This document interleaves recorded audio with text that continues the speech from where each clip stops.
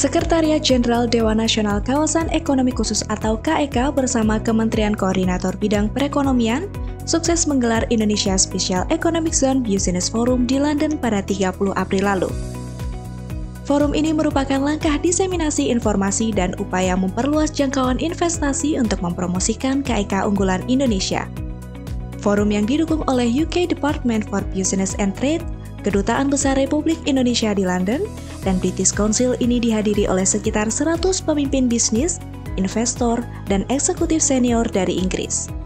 Sekretaris Jenderal Dewan Nasional KEK Rizal Edwin Manangsang menyampaikan bahwa melalui KEK diharapkan bisa menjadi terobosan pemerintah dalam menciptakan keseimbangan ekonomi dan sebagai instrumen pendorong daya saing untuk menuju Indonesia Emas 2045.